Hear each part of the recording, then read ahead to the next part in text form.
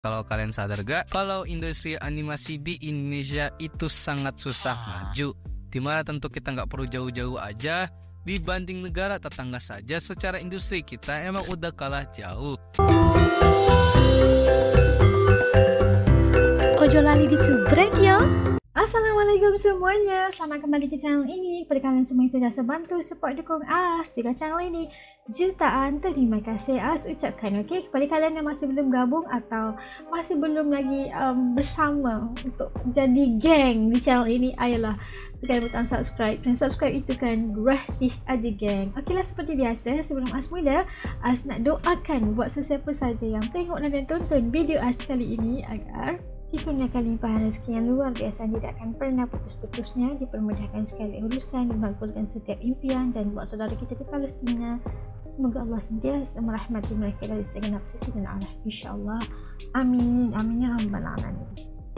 Okey lah, hari ni saya nak react satu lagi video daripada channel Dazzle. Jangan lupa juga kalian bantu untuk subscribe channel ini tanda dukungan kita. Baiklah, kita tengok kali ni katanya uh, Kenapa filem animasi Indonesia susah maju gitu. Itu satu persoalan yang besar gitu yang dipertanyakan yang dipersoalkan. Oke ingin tahu lebih lanjut kenapa sebabnya? Yuk ikut Asriak yuk. Oke udah siap semuanya. Yuk kita mulai Bismillah. Bicara soal film horor mungkin sudah menjadi genre yang akan selalu ada di industri perfilman Indonesia. Tapi coba kita fokuskan dikit ke format film yang seharusnya bisa sangat potensial untuk maju, yaitu film animasi. Apalagi jika kita melihat historinya, film animasi Indonesia kerap kali terbengkalai. Padahal kompetitornya di negara sebelah sudah memiliki bejibun penghargaan dan prestasi di bidang ini. Jadi, apa yang salah? Jadi inilah industri film animasi Indonesia yang katanya belum maju.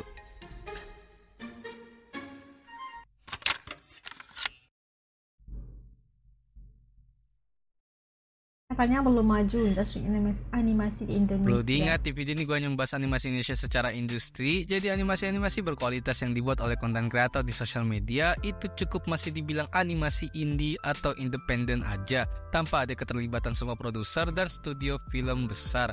Tapi di luar itu, melihat ke belakang dari sejarah animasi di Indonesia memang terbilang cukup singkat berdasarkan data-data yang udah gue cari dari semua artikel. Simpelnya awareness masyarakat tentang sebuah animasi itu ada memang sudah ada sejak dulu. Secara harfiah, penayangan wayang yang divisualisasikan menggunakan proyeksi bayangan adalah sebuah karya animasi yang sudah menyebar luas di Indonesia.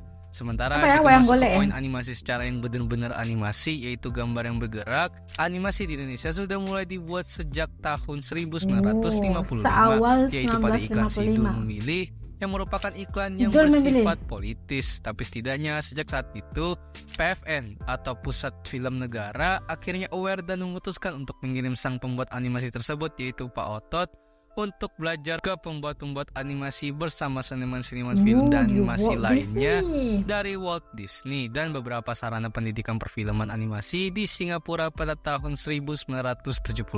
Singkatnya setelah pulang dari pendidikan luar negeri, pada akhirnya Indonesia berhasil membuat kartun-kartun animasi pertamanya seperti salah satunya adalah kartun Si Huma pada tahun 1983. Singkat cerita pada era 2000-an, tentunya Indonesia memang bisa menghasilkan banyak animasi-animasi lainnya walaupun memang kebanyakan masih berbentuk iklan atau komersil. Tapi untuk animasi-animasi yang bersifat serius yang tayang di TV, tentu juga lumayan banyak lah. Ambillah contoh seperti animasi Sentong, Keluarga Somat, Adi Sopo Jarwo, dan masih banyak lainnya. Oke, setelah mengetahui sejarah, mari kita lanjut ke pembahasan. Kalau kalian sadar gak, kalau industri animasi di Indonesia itu sangat susah maju. Di mana tentu kita nggak perlu jauh-jauh aja, dibanding negara tetangga saja secara industri kita emang udah kalah jauh. Padahal nyatanya Indonesia secara kualitas animasi oh, memang juga sudah cukup untuk berkembang atau bahkan bersaing. Jadi, apa penyebabnya? Kenapa susah maju soalannya? Alasan-alasan yang menjadikan animasi di Indonesia itu susah maju tentu bukan dari segi kualitas animasinya. Ya memang hmm. animasi yang berkualitas masih bisa terhitung oleh jari, tapi itu tidak mematahkan fakta kalau memang secara kualitas animasi di Indonesia udah boleh bersaing lah. Kalau animasi-animasi Indonesia di era sekarang aja, seperti Shijuki Animation, itu juga udah cukup bagus. Nusarara atau The Rico Animation, itu semua memiliki kualitas yang bagus semua. Belum lagi tambah para content creator, konten creator dan animasi indie yang kualitas animasinya yang selalu saja konsisten. Sehingga alasan yang paling kuat kenapa industri animasi di Indonesia itu susah untuk maju sendiri adalah sifat dari audiens di Indonesia itu sendiri yang masih saja kekeh dan kemakan kalau animasi atau kartun itu oh. hanya untuk anak-anak. Mau itu yang generasi tua, milenial atau bahkan gak sedikit juga yang muda-muda, pasti saja menganggap kartun itu untuk anak-anak. Sehingga ada yang gitu ya tapi kalau As itu kartun itu kayak gimana ya? As juga suka sekali kalau nonton kartun. Apa ya dia membawa kita ke dunia animasi. Dunia yang nggak nggak usah kita mikir-mikir soal dunia begitu berat ini. Nah ke kartun kita bisa rilekskan jiwa gitu. Apa dampak dari stigma ini? Ya tentu animasi-animasi bagus tadi selalu saja memiliki alur atau plot yang terlalu ringan di mana ceritanya selalu saja berputar pada alur yang sama tapi dengan konsep atau dalam tanda kutip episode yang berbeda. Kita ambil IP yang cukup oh. terkenal di Indonesia seperti Adit Sopo Jarwo yang bahkan bisa merilis movie pada tahun 2021 lalu. Cerita pada seriesnya walaupun memiliki kualitas yang konsisten, secara plot itu udah gampang banget ketebak dan tujuannya oh, tentu bisa ditebak. ceritanya bisa dinikmati oleh kalangan anak-anak. Oh, kalau gitu, apakah solusinya? Tinggal membuat animasi yang ceritanya itu lebih dewasa dan serius. Entah dalam unsur jokes ataupun jalan cerita. Ternyata nggak bisa juga. Lagi-lagi dikarenakan audiens di Indonesia yang masih saja kemakan omongan animasi kartun itu hanya untuk anak-anak. Dan karena stigma itu, animasi-animasi di Indonesia yang sekali aja berani untuk membuat cerita yang lebih serius atau plot yang lebih mendalam, hasilnya malah nggak laku. Dan kalau nggak laku, akhirnya oh, terjadi gitu? kekurangan dana karena mengalami kerugian. Dan kekurangan dana sendiri memang juga sudah menjadi alasan umum kenapa industri animasi di Indonesia untuk maju itu susah. Karena memang nyatanya banyak studio-studio animasi di Indonesia yang masih saja berpacu untuk mendapatkan pendapatan pada penjualan dari lisensi film dan merchandise. Sedangkan animasi-animasi di luar seperti animasi buatan Malaysia atau bahkan Jepang tentang fasilitas dan dana itu bahkan sudah dibantu oleh pemerintah negara. Sehingga secara fasilitas dan budget di Indonesia memang cukup terbilang masih sangat susah dan terbatas. Karena itulah film-film animasi yang memiliki kualitas bagus di Indonesia masih hanya bisa dihitung dengan jari. Sehingga dari alasan utama stigma masyarakat atau audiens di Indonesia yang masih saja menganggap animasi itu hanya untuk anak-anak lah yang mengakibatkan industri ini susah untuk maju.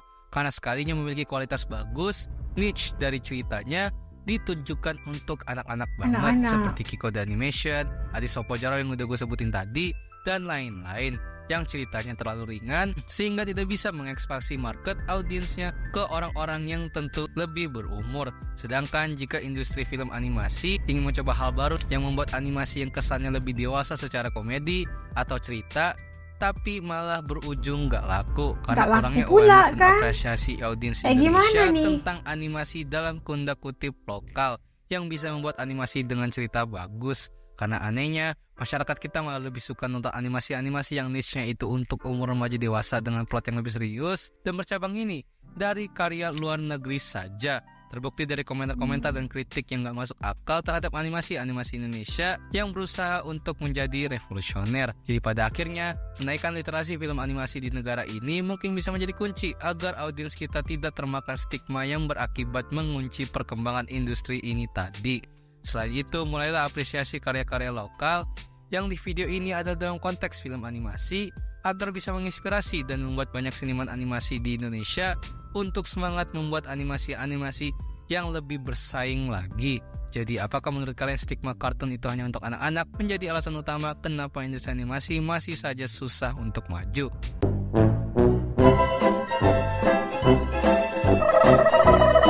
Nah, jadi kenapa uh, dikatakan filem animasi Indonesia itu susah banget untuk majunya ke depan kayak orang lain-lainnya gitu.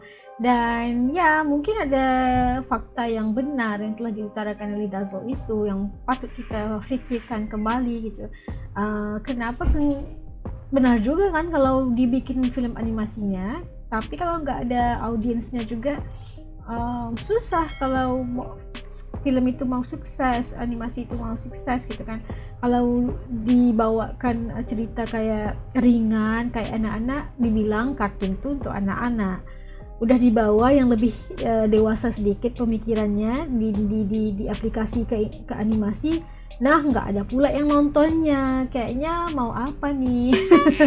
Dan ternyata untuk as um, ya pasti ada solusinya kan setiap permasalahan itu dan uh, apapun harus support uh, karya anak bangsa dan uh, penting sebenarnya untuk mendapat um, sokongan daripada uh, pemerintah dan sebagainya untuk hal dana dan sebagainya untuk membolehkan karya-karya dan mereka pengkarya animasi daripada Indonesia itu untuk terus menghasilkan karya-karya hebat. Dan uh, ya kebanyakan kalau as, as, as sendiri as suka kartun kan? Sebagai sesuatu um, escapism pelarian kita untuk uh, keluar sebentar daripada pekerjaan dunia harian kita yang realitas ini pergi ke satu yang animasi gitu kan yang iya favorite as itu pasti uh, Upin Ipin, Bobo Boy, Mekamato lagi itulah antara walaupun filmnya kayak anak-anak tapi as suka sekali. Kenapa kenapa dibilang kalau kartun itu untuk hanya anak-anak aja? Kalau untuk as ya suka banget. Gak apa-apa gak apa-apa. Kalian gak apa-apa. Uh, berikan sedikit masa. Dan as percaya um, kalau diberikan sedikit ruang, diberikan sedikit um, sokongan daripada pemerintah dan kalian juga sebagai uh, audiensnya memberikan um, sokongan kepada uh, animator-animator ini, pasti mereka juga lebih semangat untuk menghasilkan karya-karya yang hebat. Ah gitu. Harus support dong. Okey lah menurut kalian hmm, benar apa enggak? Karena itulah faktor-faktornya yang menyebabkan um, industri filem animasi di Indonesia itu enggak atau kita bilang susah maju. Kalau menurut kalian itu kenapa hal itu? Okey, titip komen kalian di bawah dan semoga kita bertemu lagi di live video. Jaga diri. Dadah